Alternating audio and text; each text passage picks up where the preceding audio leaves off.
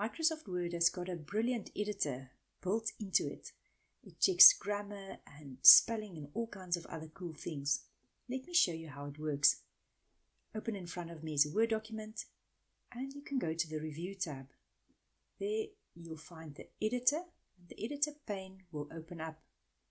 Now here you can choose whether you want formal, professional or casual writing and you can see that it picked up 10 spelling mistakes you can choose if you would like to ignore them or if you'd like to maybe change them. You can go through all of them. It picked up three grammar issues and it suggests that I add a hyphen so you can go through them as well. My clarity was good, it didn't have any suggestions with regards to that.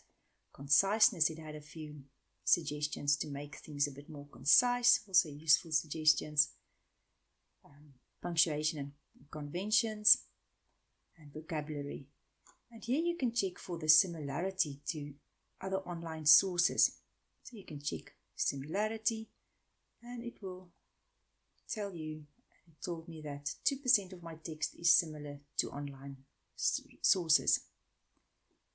And you can look at the similarities reviewed. Then it can give you document statistics. So it tells me that it's got 20 words, so many characters in the document. It's only talking about what I've highlighted, so make sure that you don't have anything highlighted. And it states that we are calculating the, st the stats for you, but it may take a few minutes. Let's say OK, and we'll wait for it to come up. And here we get the readability stats. Number of words, characters, paragraphs, sentences, sentences per paragraph, 4, words per sentence, characters per word. And it gives me the Flesch reading ease a readability score. And you can decide if this is good enough for you or if you want to make it better.